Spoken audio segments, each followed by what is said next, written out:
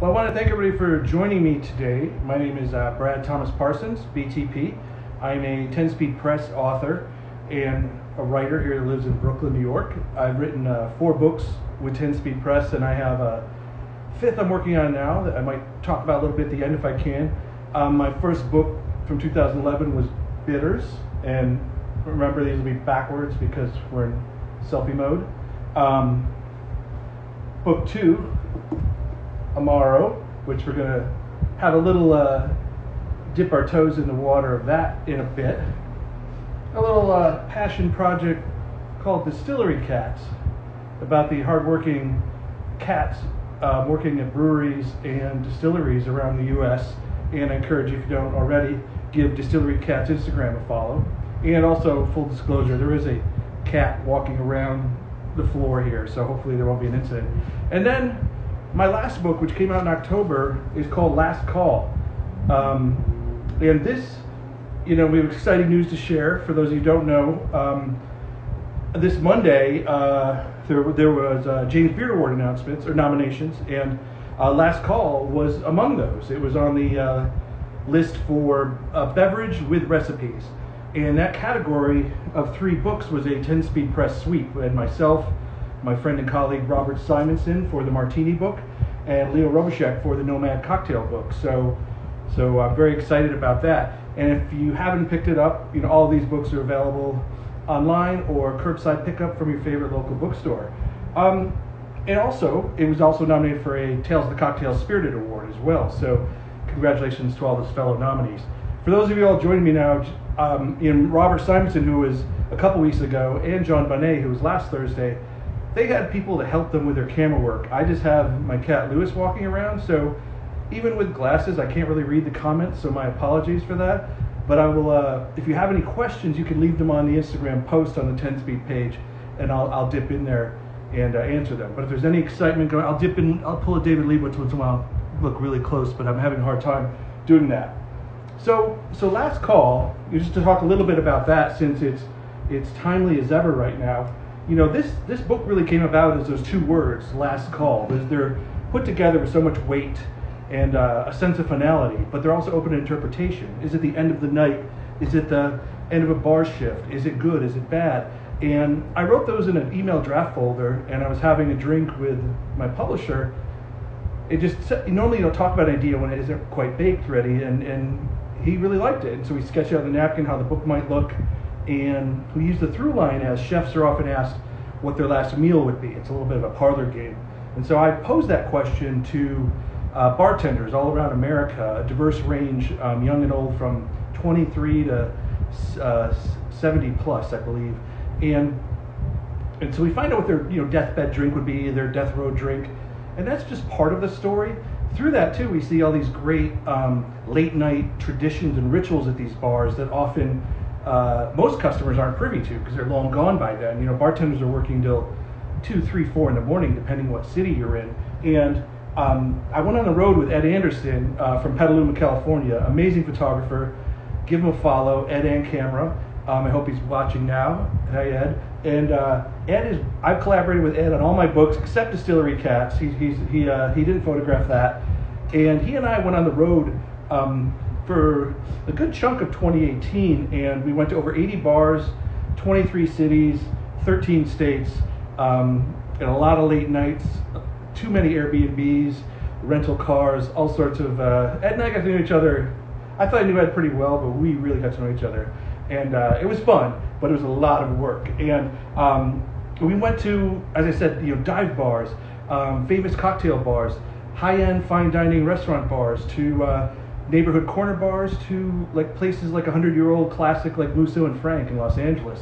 And um, I will just uh, give you a little glimpse into like some of Ed. There's this is Nightcap in New York City, uh, amazing bar. Um, what do we have here? Sorry. The Palizzi Social Club in Philadelphia. Hey Guido, if you're watching. And so many more. There's this is a fun one. This was a St. Leo Lounge in Oxford, Mississippi. Um, this is one of our latest nights, and and we wound up uh, after a long night of bar hopping, 4 a.m. This is after we went to the Chevron gas station for chicken on a stick. We were at Faulkner's grave at 4 a.m. Um, you know, just just saying our goodbyes. This is uh, Robert's Western World, a nice gatefold there or, or centerfold. Uh, this was a, a, night in Nashville. I was at my lowest, and when this house band started singing uh, Delta Dawn, I, I, did weep a little bit. Um, it was it was tough. And uh, there's Chris and Anu from Rob Roy in Seattle. So, so not to make this look like picture time, I just want to show you some of the great work in it. And so there's amazing, amazing photos, um, recipes throughout, ranging from martinis and Manhattans to strawberry daiquiris to uh, all sorts of interesting things. But, but, but this book is you is taking on an extra layer of poignancy these days that every single bar in this book is now closed, and there's at least one permanently. And and I, I all these bartenders are out of work or they're doing cocktails to go and things they didn't expect to be doing. And this landscape is very different right now. And I, my heart does ache for everyone affected by COVID 19, but I have a soft spot for the bartenders, and this book is almost like a, a time capsule now, looking back at a moment that it was just you know months ago. So so shout out to all the bartenders who were in last call and helping out with that. Um, and I wanted to now talk a little bit about my second book, Amaro. So I promised to make you a couple of drinks, and but I want to talk a little bit about Amaro. Um, I won't do the super deep deep dive, but I'll kind of, you know, we only have we have three hours together, I think. Oh no, 30 minutes. I'm sorry, 30 minutes together. So I'm going to do my best to get through that and make two drinks for you all. Um, essentially, you know, what is Amaro? A lot of you know what it is, but essentially means the bitter, the Italian word for bitter. It's also this collective class of Italian-born herbal bittersweet liqueurs that were historically and traditionally used for um, digestive aids. And it was guided more by tradition than strict categorization or classification. And in Italy, they were inspired by the, the different regions throughout Italy, from the north to the south. There were southern style amaros, they had more citrus. There was northern style amaros that took advantage of the new spices being brought in through, through Venice and the spice trade, trade routes. There's coastal style amaros and the flavors could really range from citrus to floral to woodsy um, to to very bitter to vegetal, uh, all sorts of different kinds. And, and so it's a very interesting category, but it's very uh, it's a lot to take in. And so so amaro is essentially made by macerating herbs and botanicals in a neutral spirit or a wine base. Um, you know those range from flowers to citrus peels to barks you have bittering agents, you have flavoring agents, and combining those, the alcohol extracts the different flavors um, and brings those together. They're then um, they're, they're macerated for a period of time, blended together, and then they are filtered. Water is added, a sweetener, and they're traditionally aged in glass now or stainless steel for a period of time to rest and, and, and mature and have everything come together, or in, in barrels for a couple months up to up to two years. And some of those bittering agents that bring on that sense of bitterness that you taste are like uh, cinchona bark, gentian root, angelica, uh, licorice root. And, and the thing to remember about bitter, Amaro, is you think like, oh, bitter, I don't like bitter. You know, Americans especially were late, are late to the game to embracing bitter as a flavor. We're getting better in food. Um, you think of kale, dark chocolate, and hoppy IPAs and things like that. But with but with drinks, it was really the Negroni that, that helped us say, hey, this is kind of, you know, cosmopolitan, the Dolce Vita, it's wonderful, it's interesting. But the thing about Amaro to remember is it's bittersweet. It's the level of sweetness and bitterness. Few Amari are just knock you in the face bitter. There's a couple out there, um, but but just keep that in mind. And as humans, I guess we're all humans except for Lewis. Uh, yeah, Lewis is in the litter box as I'm saying this right now. Sorry. And reminder, um, I can't really see the comments because I'm by myself except with my cat, so I apologize. But if you have any specific questions, uh, drop those on the 10 Speed Press post about this event, and I'll dip in there afterwards. I see icons floating around. There's Fourth Ave. I saw my good friend David Lebovitz in the house, Allison Renzulli from 10 Speed. Thank you all for tuning in. Um, so anyway, so humans are we're hardwired to think that bitter is wrong. That inspires. It's a warning sign that, that we ingested something toxic, or and our, our body is um, wants to expel that. And so that's sort of where where you know the the digestion comes in. Um, it can it can get your salivary glands going, or it can get your stomach going. So you think of aperitivo and digestivo and, and that relationship. And for centuries, medieval monks and friars in Italy would use their knowledge of botany to create these herbal elixirs um, to that they would give to the local community or sell um, to help people either stimulate the appetite or aid with digestion. But then there were several anti-clericism movements throughout Italy's history that drove Amaro more to the pharmaceutical side. So again, think it was medicine. It was so up and up through World War II, it was pretty much sold at pharmacies, and then post World War II was it was embraced more as for pleasure, as you would say, like to drink. Um, and, and a lot of that after World War II was they'd gone through a severe period of austerity, and now there's a little bit of abundance. They were eating better, they were eating more, and they kind of reached to the Amari. Um, so, one, so I have a lot of bottles here I'm going to hold up in a moment to show you some different ones. But the one thing about the categorization of Amaro is it's very tricky. It's like a it's a weird taxonomy because like Italy has so many rules about their their prosciutto and their mozzarella and wine, but with Amaro, it, it, there are different regions, but there isn't something that says you know they say most Italians believe it has to be made in Italy, be called Amaro. They will argue that, but um, that cat's out of the bag, as they say. But um, it, it, it really is this broad, loosely defined category. So, so with that, I will talk about some categories you can consider when you're either looking at the liquor store uh, for some curbside bottle service to, to pick up some bottles, or the next time you're at a bar or perusing a list. The first category I call, is aperitivo bitters or red bitters. Um, that's our friend, you know, Campari. Uh, first thing Italian would say is aperitivo is not amaro because to Italians, amaro is about the act of when you drink it, that after the meal. Um, aperitivo, you drink it before. Um, this opens the appetite. Uh, all rules are out of the bag, pretty much. And I, I, knew I couldn't write a book on amaro without having you know Campari prominently featured. So, so, so yeah. Another thing too about aperitivo, it's a lot of the same ingredients, but it's it's just when you're consuming it. They traditionally have that red color. You just saw that, that scarlet hue. Um, sometimes artificial. Historically, it was often with uh, cochineal, which was an organic dye derived from a beetle-like bug that was crushed down. And you usually don't drink aperitivo on its own, like neat or even on the rocks. If you're a Steve Zissou fan from Life Aquatic, Campari rocks as his drink, but most people have to cut it with a little soda or seltzer or wine. Um, there are, I'm going to make a drink using a red bitter in a bit, but there are some, because we're in Brooklyn, or I'm in Brooklyn, uh, want to call it some homemade uh, homegrown Amaro. There's St. Agrestis' Inferno Bitter. Look at that cool bottle. Comes with a little little button up here um, you can take when you're done. Um, so so the, the red bitter category is pretty exciting right now with with locally or domestically made stuff. A brand new one, about a few weeks old, Faccia Brutto from Patrick Miller, a former chef right here in Brooklyn. And they all have different styles. Some would be more bitter, more herbaceous. Campari really hits you with the bitterness and the it's very bold. And and then this one we're going to make red by Fourth Ave Spirits. They're great aperitivo. We're going to use this in a drink in a bit, so I'll talk a little bit more. Um, then you have your gateway amaro. Um, these are the lighter to medium style.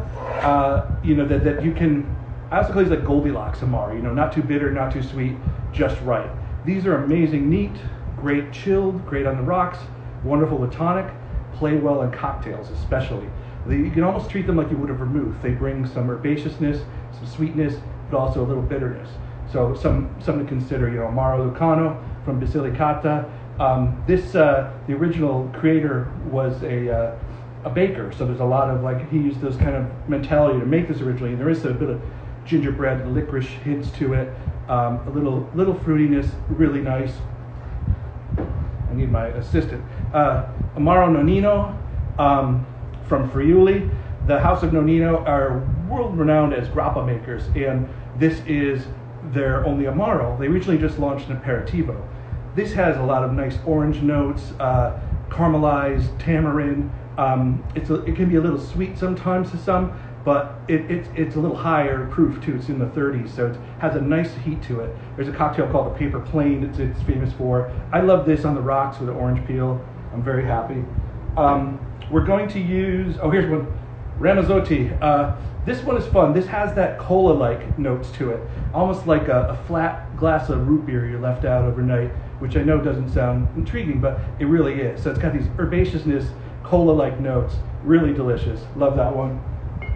and Averna, which we're going to make a drink with at the end. Um, this is uh, the classic Sicilian, there go my notes, the classic Sicilian style Amaro um, that is made in Sicily and it has predominantly Mediterranean herbs, pomegranate, lemon peel, orange, really lovely. Um, and before I move to the next category, we have, give me one second, folks, I have to get something here. Lewis, Lewis, what'd you do? Talk amongst yourselves.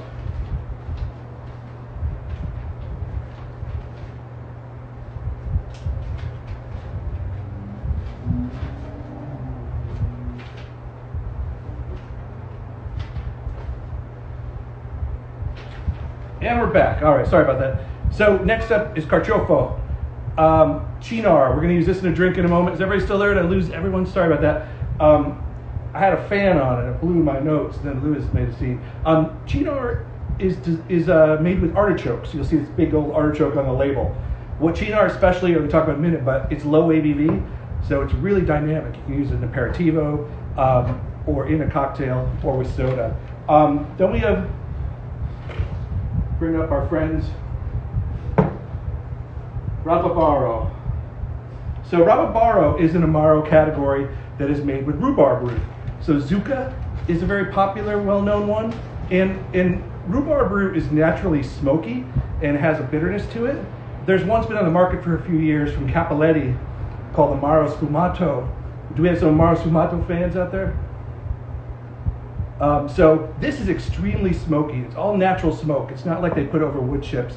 It's like a campfire, uh, reminiscent of mezcal or a peated scotch. Highly recommend this one on its own or in drinks that, that would work with those. And then we have uh, the, the Alpine style. Uh, Braulio is sort of the category killer in this one. So these are usually made in the mountain ranges or around the mountains of Italy, the, the Dolomites, the Alps. And these were uh, high altitude herbs like juniper and wormwood and yarrow. And they have that classic, if you look at the label, those, that mountainscape there. Um, it has an après ski feel to it where it really, uh, it's warming spices because you were drinking this in a colder climate.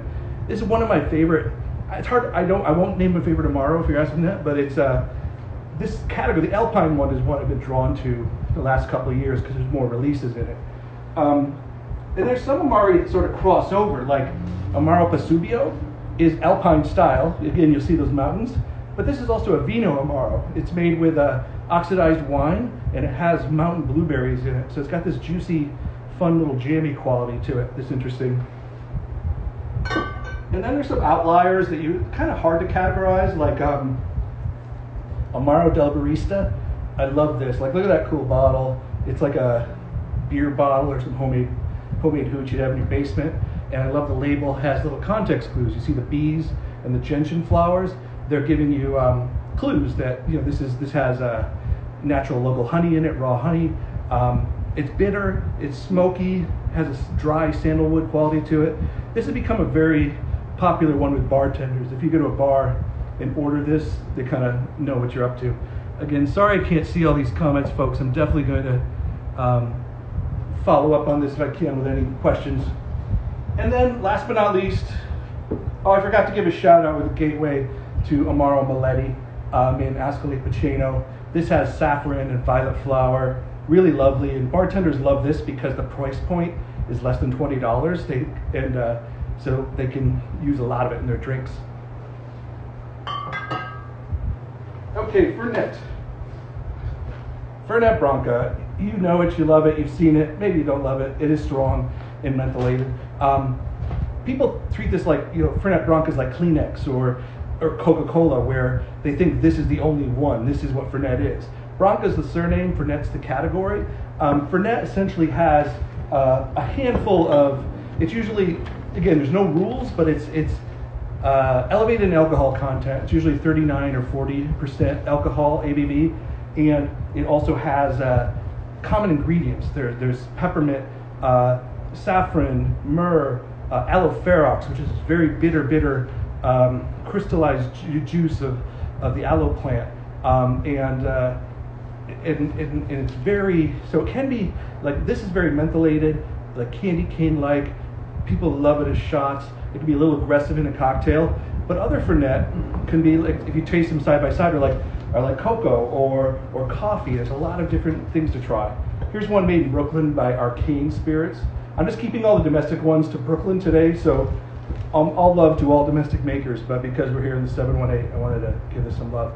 This is interesting because it's this is very minty, but they vacuum distill, and um, and the, the, the man that made this made this on a dare to try to replicate Fernet Branca, and he came up with his own wonderful version. All right, so in terms of how to taste amaro or how to drink it, you know, there's no rules. It's when I've been in Italy, it's pardon me.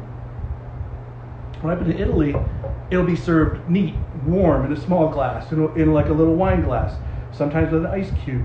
And the same thing is in the States. You know, there is no right or wrong. It's however you like it. And I, I personally, I like this kind of glass, like a, I think it's Duralex, like a bistro glass. Um, I like the more viscous ones, like a Verna chilled, or even with a rock or Lucano with an orange zest in it. Splash of soda, perfect. Um, David Lebovitz gifted me with a set of these little mini Duralex that are I kind of use as well if you're doing flights and you want to set out like three to try. Um, flights are a great way to try Amaro at home. So you could try like three Fernet side by side, or go light, medium, bitter, wild card. Try different things. Um, so it's very interesting. And, and and but the thing too is that cocktails is what has gotten people really excited about uh, Amaro. So um, bartenders, you know, unlike you know, there's aperitivo culture where there's Negronis, Americano, spritzes, that kind of uh, alfresco, the dolce vita lifestyle thing. Those red drinks have been around a long, long time, but cocktails um, haven't really utilized Amaro a lot. Um, in historically, there's the hanky panky and the Toronto, but they have just a tiny bit of Fernet in them. So it wasn't until like the mid 2000s where bartenders started playing around with these, these drinks like the, the Paper Plane, the Little Italy, um, the Bitter Giuseppe. A lot of interesting drinks came out of that. So working on Amaro, it was great to have access to a lot of these creators. And when I wrote Amaro, you know, Ed and I traveled across Italy, and most producers were really curious, like, why are you here? You know, what, what no one cares about this, and, and it turns out they did, which was pretty cool. Um, so I think it's time to uh, make a drink. I know I could use one. So I'm going to make, I'm going to take you the spectrum of aperitivo to a more spirit forwarded one. Um, I don't have a, I did have these all in my refrigerator chilling, but actually my refrigerator is on the other side of the apartment. So I don't have a Collins glass, but I'm going to use another version of this Duralex. And this drink I'm going to make is called uh, an Americano Perfecto. It's by Damon Boelte, who's a really good friend of mine. He's the one of the owners of Grand Army Bar, right uh, a few blocks away from where I live. Um, just celebrated their five year anniversary. Bravo to that, guys. And Damon used to work at Prime Meats, and uh, where I was a regular for years. So I love Damon. And so Americano is you know refreshing drink with with uh, soda water, uh, a red bitter, usually Campari, and vermouth. Um, called the Americano because most Italians were drinking Campari soda. When Americans would visit, they they needed that that uh, that to make it a little sweeter and not as bitter. So so with Damon's version, he's sort of combining a spritz Americano um, with a shandy. So we're introducing beer um, for the bubbles and the carbonation and a little bit of maltiness. So you're just going to take a Collins glass or any kind of vessel you can get. There's Mary. Hey, Mary Kate. I try to, I'm really sorry I can't see these. I need my Mary Kate. I asked Mary Kate, Robert Simonson's wife and a dear friend of mine, to maybe stand on my fire escape and work the camera, and she didn't feel safe. I mean, I understand. We still have to be safe distance, but uh, it would help me a little bit. So we're gonna use this Fourth Ave. Um, Fourth Ave is said like it's Campari. It's it's red bitter, so in the Campari kind of family. But this is uh, has has a, a different kind of botanicals in it it's you got the bitterness, and it's really lovely on its own. It just kind of comes in, comes at you, uh, really well balanced. Uh, you have a little, uh, not eucalyptus, um, there's rose, grapefruit, orange, all these great notes in there. So we're gonna put an ounce and a half of red bitter from Fourth Ave, Fourth Ave, in there. and then and then Damon does what a lot of bartenders do in this, where he splits the vermouth base. Um, you know, because vermouths all have different styles and different you know main flavor profiles, so you can kind of do the best of both and bring them together. We're going to use Dolin um, from France, which this is a little lighter and drier, um, a little bit more fruit to it. We're going to put three quarters of an ounce to this, and I've got these mini bottles in because you that way you they don't oxidize and always keep your vermouth in the fridge. I think if you don't already know that, please please do. So we got the three quarters ounce of Dolin, and then we're going to round that out with three quarters ounce of Camparo. I'm sorry, uh, Antica formula, Carpano Antica. So this is a bartender favorite as well. Again, I got the mini size. This is a lot bolder and hits you with that cocoa, orange, vanilla notes. So it can be very, very strong, um, but it's lovely. So three quarters down to that. And then, so Damon's original recipe called for a Pilsner, and he usually uses Einbacher. Um, I only had lager in the house. I had Peroni, which is my house beer, but I thought I'd dust off, uh, not dust off, but take out one of these champagne beers from Miller High Life um, to kind of as a nod to uh, putting some Prosecco or some bubbles in there from the big old bottle here. So these only come out around Christmas, and I, I had a few sticking around. He calls for four ounces of this, so you can you can measure, or you can just you know top off with some beer there, and then give it a little stir. And then we're going to garnish with an orange wheel.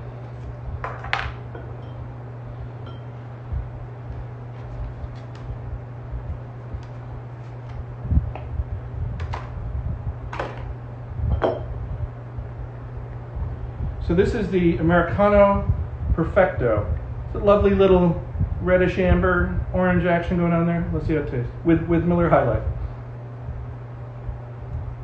Oh, it's lovely. Cheers, Lewis. Has anyone ever? Uh, so Damon has this. Uh, you can always ask for this off menu. Um, has anyone ever had one of these with the with the beer Americano? They're lovely.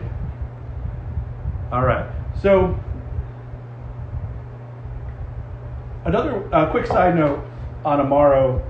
I, I, wrote a story for Punch about this. Um, I call suitcase bottles. Like when you're traveling, the bottles you want to bring back that you can't get in the U.S. That's been a fun hobby of mine. And so just a few to show you. This is Braulio Reserva, which is one of my favorite ones to pick up. It's um, a smaller batch version of Braulio that they age in smaller barrels. It's a little more herbaceous and they have the vintage on them. This is from 2011, so some people will collect these like verticals like they would chartreuse throughout the years. Really always like to get that one. This one, uh, San Simone, you can pretty much only get this around Torino. It's, it's a hyper local Amaro. I just look at it, I love that label. It's got this kind of Alfred Hitchcock letter vibe to it, a movie poster vibe. Um, I regretted not buying this when I was in Torino uh, for the first time and a friend of mine ended up gifting this to me. So love this one. And then sometimes if you're traveling, just pick it up if you got a cool label. Like this is a vintage one. Like I love this one, Gentleman Heaven. It's very Robert Simonson, kind of there. All right, I know I'm going to run over time, so I don't want to do that. Next drink I'm going to make for you. So now we had an aperitivo, like a lighter side one, very easy to make. And now we're going to like the Manhattan. You know, you think of like drink templates, old-fashioned Manhattan Negroni Manhattan is especially one that's, that's friendly with the Amaro. So you have, you know, the, the black Manhattan, the Little Italy, ones that where they'll introduce the Amaro kind of subbing it as the vermouth. So this is one called Yesterday, Today, and Amaro. Um, I thought the name was very fitting these days, where we don't really know what day it is anymore or what month, and and don't really know what's going on. So um, this was a drink from Philadelphia bartender uh, Brian Kane, he works at Abe Fisher, one of Mike Solomonov's restaurants in Philly, and they were known for, still are, for these large format, family style smoked uh, beef ribs, Montreal style beef ribs. And uh, so Amaro played into their menu to, to, cut through all this rich food they had, which was which was a, a good call. And so when I was on my book tour for Amaro, the Abe Fisher event was the, the last event on the book tour and we did, I think we did a, I want to say it was a 12 or 13 Amari tasting, which is probably not, that's pretty ambitious. but the restaurant sent out tons of food for everybody, as well as cocktails. And and normally, you know, you're sipping Amaro, you might use a spit glass, or this this crew did not. And and I don't encourage overindulgence, of course, but by by the sixth, when we hit Amaro number six or seven, I lost complete control of the room. And I don't know if anyone is on the on the hey Talia is on the program right now watching that went to that event. I know some people were commenting on Instagram. I know David was there, and some friends of mine, friends Mike and Allie came out, Peter Cohen, and um, I was sober as a judge doing this class, and I could hear like glasses breaking. Um, you know, I just lost them. And then so we finished it, and I had to sign books, and the line was really long. You know, thank goodness. But um, there was a couple making out at one point. So so I, I finally remember the end of that event, but I associate that drink with this. So we're gonna make a nice little Manhattan variation um, called yesterday, today, and tomorrow. So we're gonna take two ounces of 101 proof wild turkey rye. Sorry, the rye. So let's add a little bit of spiciness to it and the heat kicking in. So with that, and then we were talking about uh, Cynar earlier. So this, so Cynar, you know, you don't really taste artichoke. There's a slight vegetal quality, but this is not an amaro. It's a sweet herbal liqueur with kind of a honey notes to it, a little bit of angelica and lemon. We're going to put a quarter ounce of that in there. So, so these three combined, those two Amari and and uh, the Benedictine. So, so the the, the three, uh, the two Amari and the herbal liqueur combined are an, almost a nod to like creating your own vermouth. So Brian, the creator, says it harkens back to uh, uh, an old style vermouth. And the name too, you know, while I'd use the name, it being fitting for our current situation of not knowing what day of the week it is anymore, Brian named that drink yesterday, today, and tomorrow as a nod to all of the uh, producers who passed down these secret recipes from generation to generation. Hey, my sister. Hey, Vicky. How are you? Okay. So you get your chilled coupe, or pretend it's chilled, and then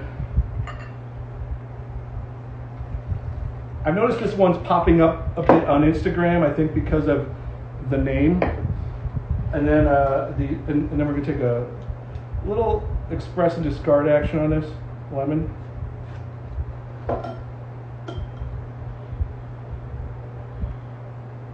So this is the yesterday, today, tomorrow, and tomorrow. A nice kind of spirited nightcappy style Amaro drink.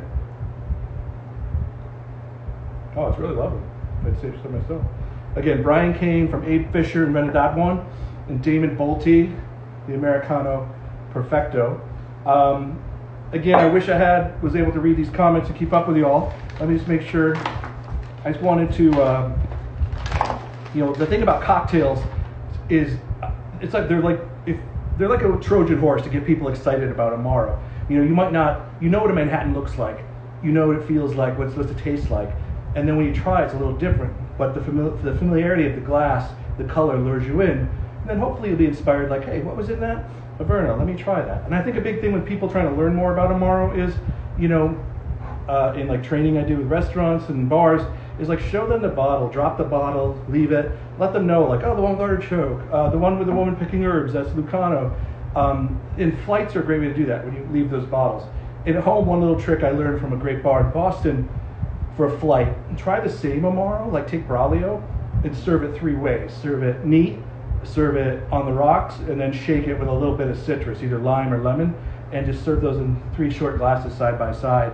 Um, so yeah, I want to thank you all. I went a little over time, but I want to thank you all for your patience and for joining in. I hope this was uh, fun for everybody. And if you want to uh, see more Amaro action in just a few minutes at five o'clock, I'll be over on Punch's uh, Instagram Live. I've been guest hosting their Tip Your Bartender all week, which is a great initiative to help support bartenders during this time. And my good friend Dan Zeiders from Luca in Lancaster, Pennsylvania, will be um, the bartender that I'll be talking to in less than 20 minutes. So uh, I want to thank you all for watching. Thank you, 10 Speed Press, for this opportunity. Everyone be safe, stay bitter, and I hope to see you on the other side.